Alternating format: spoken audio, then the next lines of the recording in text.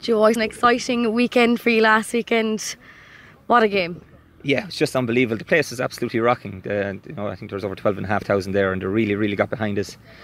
And it looked like Dublin were going to come back, and uh, just pulled away and held on at the end. It was uh, just a fantastic feeling. I think it's has it been 40 years since you were in a quarter final? It has, yeah, 1979, yeah. Um, yeah, definitely. I wasn't around then. I don't know.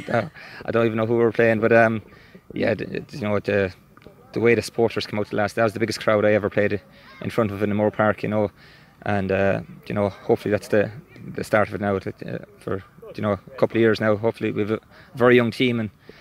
Hopefully now a bit of a, golden era, hopefully for Laois hurling. What's it been like, I suppose, over the course of this week, knowing you're facing Tipperary in a quarter final? You know, I haven't even thought about too much. You know, we, um, we had a few drinks Sunday night and uh, down here then last night and you know, train tonight now we'll refocus and get set for Tipp but um, we're just the lads are out in the Cúl Camps down in Laois now this time and just uh, soaking it all in you know. What's it like having Eddie Brennan as manager of you sure he's, he's been super you know really really um, just brought that winning mentality and uh, he's just so laid back and a lot of common sense you know.